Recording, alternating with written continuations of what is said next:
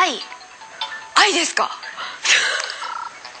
セリフしゃべるお題愛編です。